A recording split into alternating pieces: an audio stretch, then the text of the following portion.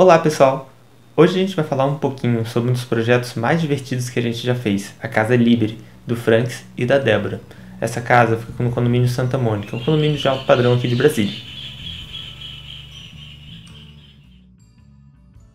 Volumes livres e planos livres. Foi com essa premissa que iniciamos o projeto dessa residência.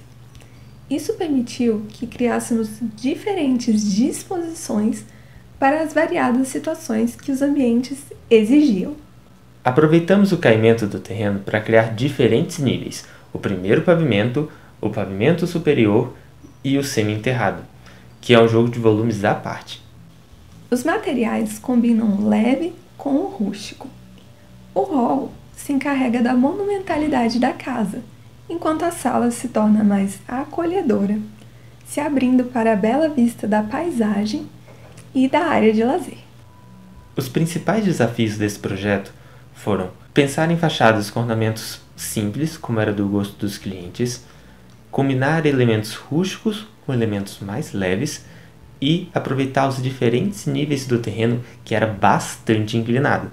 Durante o desenvolvimento do projeto, buscamos criar um dinamismo entre planos e volumes, para que eles mesmos fizessem parte da ornamentação das fachadas. Dessa forma, tanto a fachada frontal quanto a fachada posterior trazem volumes desencontrados e elementos em linhas contínuas. Combinamos elementos rústicos com elementos mais leves para criar um equilíbrio na materialidade. Essa ideia de equilíbrio no uso dos materiais também foi transferido para os interiores e pode ser percebido logo na escada principal do hall de entrada, que, com sua forma ousada, combina a robustez do metal de um lado com a leveza de um guarda-corpo esbelto do outro. Falando no hall, vamos aproveitar para falar sobre como a casa se desenrola. O hall leva até a sala, mas sem antes passar discretamente pela área privativa do primeiro pavimento. Sala e cozinha são um ambiente comprido e único, com vista para a paisagem e para a área de lazer. Ao subir, encontramos o acesso para uma das varandas com vista para a paisagem. Logo depois, uma copa que tem acesso para outra varanda, dessa vez com vista para o pôr do sol. Além disso, no segundo pavimento, a gente tem mais duas suítes secundárias e um escritório. E depois disso, a suíte master, com ventilação cruzada e varanda privativa. Além da vista através da varanda, a suíte master também tem vista a partir do quarto e da banheira. Voltando para o primeiro pavimento, podemos prosseguir para a área gourmet, bem próxima à piscina, com borda infinita e sauna integrada.